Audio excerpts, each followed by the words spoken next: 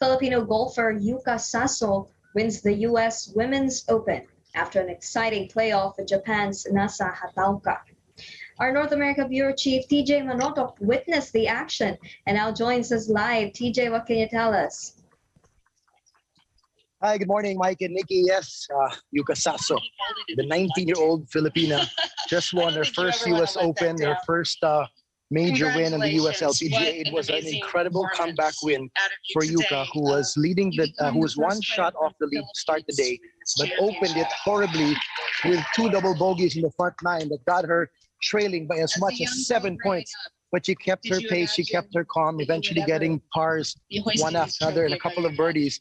And in the end of the 18th hole, she tied for the lead and went into a playoff with Japanese player Nasa Hataoka. And in that playoff, after three holes, Yuka Saso sank a six-foot birdie putt to make this historic win. Right now, she's being uh, given the trophy. Actually, I can't see because I'm live with you guys. And we'll be able to speak with her later on. And uh, at 19 years and 11 months, she is tied for the youngest winner since 2008. So this is a historic moment for Yuka Saso, who was just looking to get experience here to be a contender as she looks forward to competing in the Tokyo Olympics for the Philippine national team together with Bianca Pagdanganan. So we'll be giving you more details later on ANC as uh, we'll get to speak to Yuka later on about a historic, historic win, an incredible comeback win for Yuka Saso of the Philippines. Mike, Nikki. All right, thanks for that update, TJ.